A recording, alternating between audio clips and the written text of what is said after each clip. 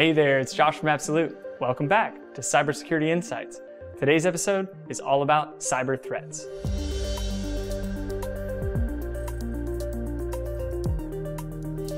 What makes something a threat? Well, let's look at the definition of a threat a person or thing likely to cause damage. Ah, it must be likely to cause damage. Looking for threats forces us to think in probabilities. In 2018, the most successful attacks were external attacks, internal incidents, third party attacks, or a lost or stolen asset. Let's take a closer look. External attacks are the likes of denial of service, you know, botnets in high gear, web app seizures, stolen credentials, usually from phishing, and of course, exploited vulnerabilities.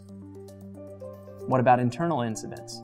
Well, making up nearly a quarter of all attacks are insiders who abuse access, knowingly changing or stealing data, while many more are sins of omission, like unreasonably high privileges giving far too much access.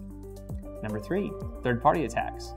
These are the partners, suppliers, contractors, and even clients who push their own compromises into your environment.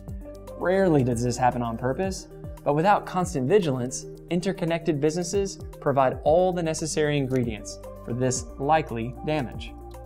Fourth and last, things get lost. One out of every six successful attacks can be blamed on a lost or stolen asset. And that makes sense. Once an asset is outside your view and control, anyone accessing the device is, by definition, getting unauthorized access. What's the attacker's goal? The primary motive is greed.